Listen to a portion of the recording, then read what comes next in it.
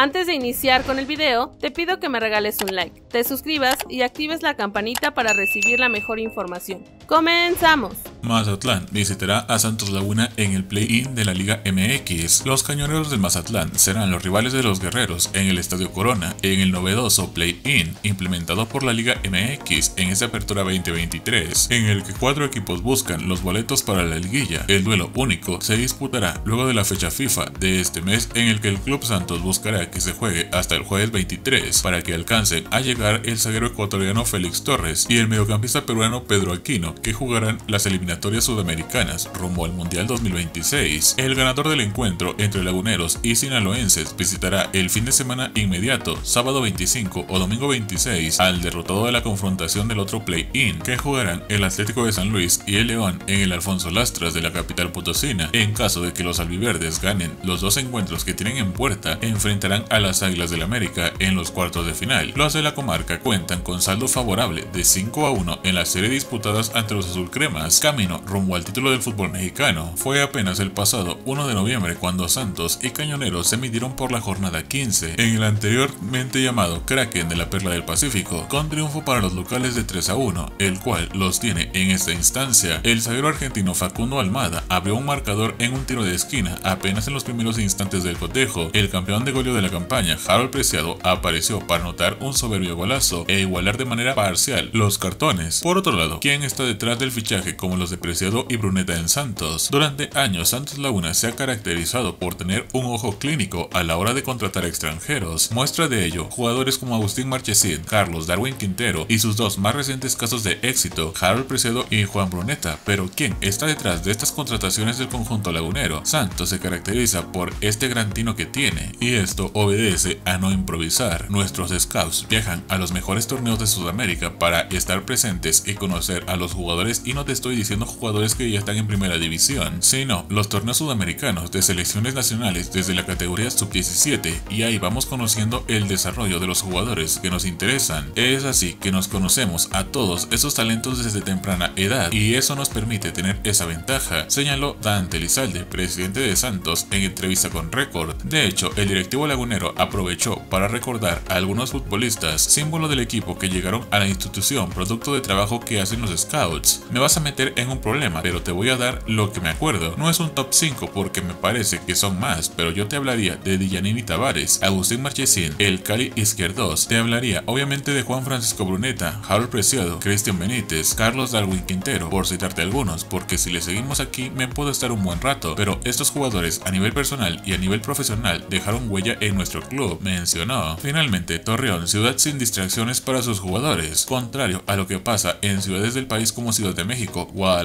o Monterrey, Torreón se caracteriza por ser una ciudad tranquila, situación vital para que los jugadores que llegan a Santos puedan concentrarse de manera absoluta en lo que conlleva su trabajo. Torreón tiene peculiaridades, es una ciudad tranquila con un enfoque altamente familiar. El jugador no va a encontrar distracciones, el jugador no va a encontrar lugares de la noche, entonces si debe de tener un perfil muy específico para que pueda desarrollarse bien. Entonces eso me parece que es parte del éxito que hemos tenido como organización, saber escoger más allá del futbolista, conocer a la persona que puede encajar en los principios y valores de la organización, puntualizó Elizalde. Y bueno, hemos llegado al final de las noticias de hoy. No olvides comentar ahí abajo qué te parecieron. Dale like, suscríbete al canal y activa la campanita para así traerte siempre más y mejor información. Hasta la próxima.